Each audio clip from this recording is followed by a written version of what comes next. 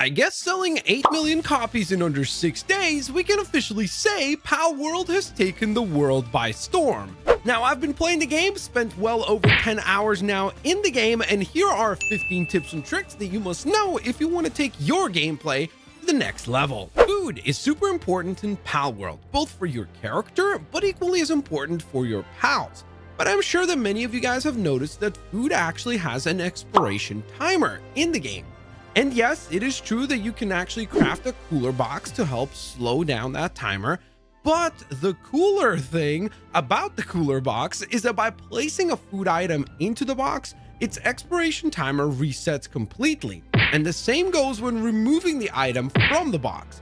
Now, this is obviously something that might end up actually being patched out in the future, but as of right now, if you have a food item that is about to expire, place it into and take it from the cooler box and the timer freshly resets. Gliding is almost always a really fun mechanic in video games, and Palworld is no different. So if you want to glide, it's actually quite simple. All you need to do is hit level 5 on your character, and then unlock the normal parachute under the technology tab.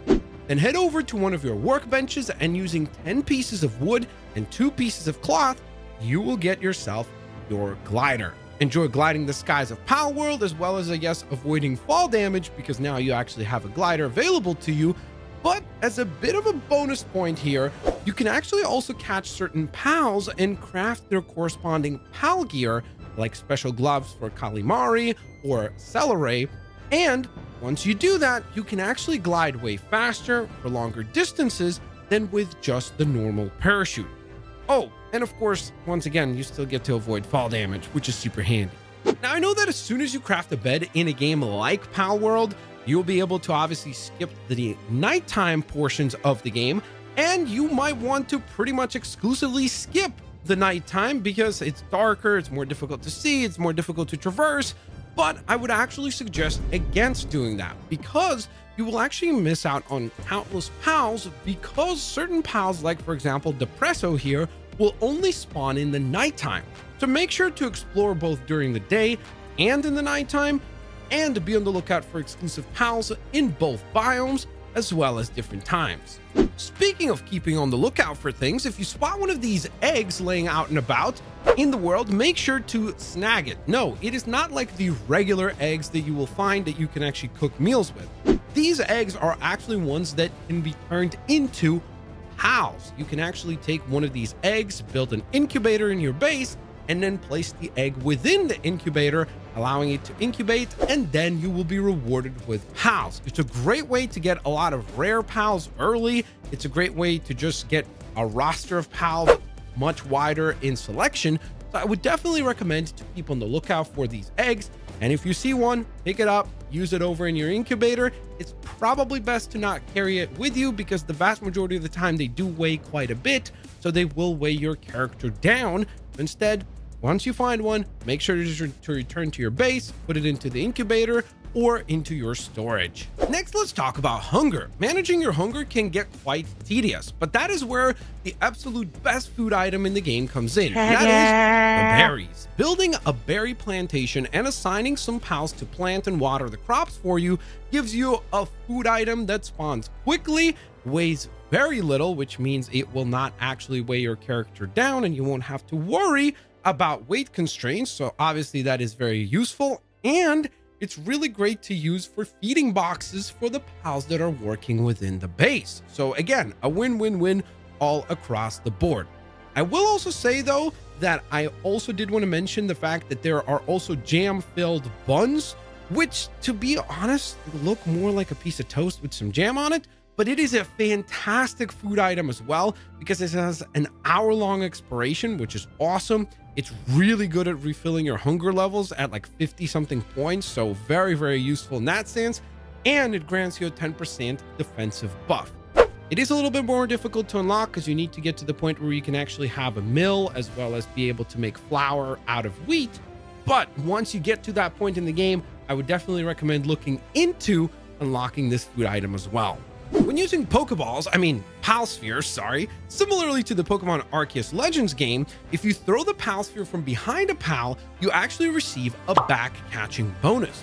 which will substantially increase the chance of you actually catching the PAL that you're targeting. So take advantage of this element to give yourself the best chance of success. Next, let's talk about traversal.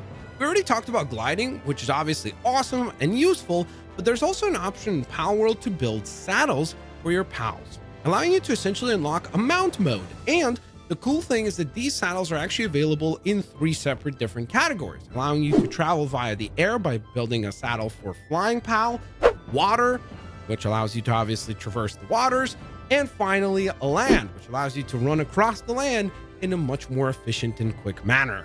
As you level up in the game, you will unlock stat points to power up your character with six options available to you across HP, stamina, attack, defense, work speed, and weight capacity. Now, obviously, there's not one defensive stat that is the perfect one to upgrade. However, I do believe that from my experience of playing the game, that most players should prioritize stamina and weight capacity. The other stats are important, but most of those stats can be covered by simply adding a strong pal to your party and letting them do the fighting for you. Increased stamina and the ability to carry more stuff, on the other hand, are super useful specifically for just your main character. And in my opinion, for most players, that will yield the best returns. I would focus on those two stats. Since we're discussing stamina, another cool trick using your stamina bar is to not allow it to drop all the way to zero because when it does, you are then incredibly limited in what you can do until the stamina bar is filled all the way back up. Instead, just let your stamina bar drop low, but don't let it drop to zero. It will quickly replenish and you don't have to deal with having to wait until the bar is fully recovered. Now I have waited about halfway through this video to ask you guys for a little bit of support. So if you can, and if you're enjoying the video, please take a quick moment to leave a like. Thank you guys so very much for your support. When setting up work sites for your pals like the stone pit or the logging site inside of your base, take a quick moment and drop a storage box right next to it because pals will gather the harvested materials and place them in the nearest chest. So placing one nearby gives you a nice, organized, and efficient base setup. Plus, even if it's not a pal that ends up being the one to collect the resources and it's you, picking up a lot of the collected stone or wood will most likely restrict your ability to actually move around because of the weight limits.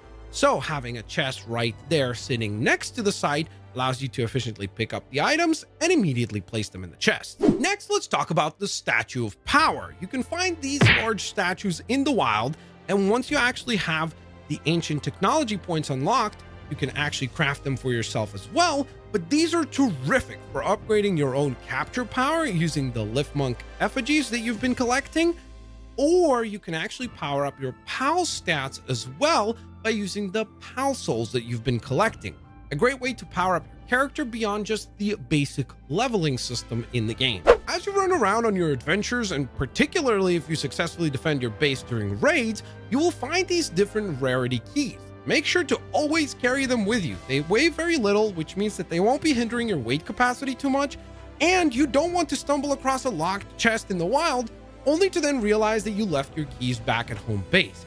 But keep your keys on you at all times. Now, since I just mentioned the raids, I've seen a lot of people actually complain about the raids in the game, saying that the experience of having to deal with the raids ruins the experience for the game as a whole. Well, I have some good news for you. You can actually turn off and adjust that setting altogether even after you've already created your world. Just simply select your world and then before starting your game, hit the change world setting option and feel free to make your adjustments under the custom settings, including being able to completely turn off the raid events altogether. Now, Palworld clearly borrows some elements from Pokemon, and another element taken from the Pokemon franchise is the elemental or type system for the pals. So keep in mind that similarly to Pokemon games, using the right element of a pal against another pal will actually give you increased effectiveness against those particular enemies. So keep this chart here in mind. And finally, if you're struggling, especially early on in the game, with being able to afford PAL spheres, there is a solution. Simply build a ranch at your base, capture this pal called Vixy, which can be most commonly found in this biome right here next to the small settlement fast travel point, and once you catch one or two of these, simply assign them to the ranch in your base by picking them up and then throwing them in the ranch vicinity. And thanks to their dig here partner skill, they will continuously dig up different items, but the single most common item that they will dig up is actually regular pal spheres, which means that you will essentially get an infinite supply of pal spheres courtesy of this new pal that you caught, and of course, the wrench settlement that you placed within your base. So there you have it, guys. 15 tips and tricks for Palworld. I hope you found this useful, and I hope that this will be something that will improve your experience in Palworld itself. If you have any tips or tricks that you would like to share with the community, use the comment section down below. I'll hopefully get you guys here on the next one. Peace out. See you later. Alligators. Bye-bye, everybody.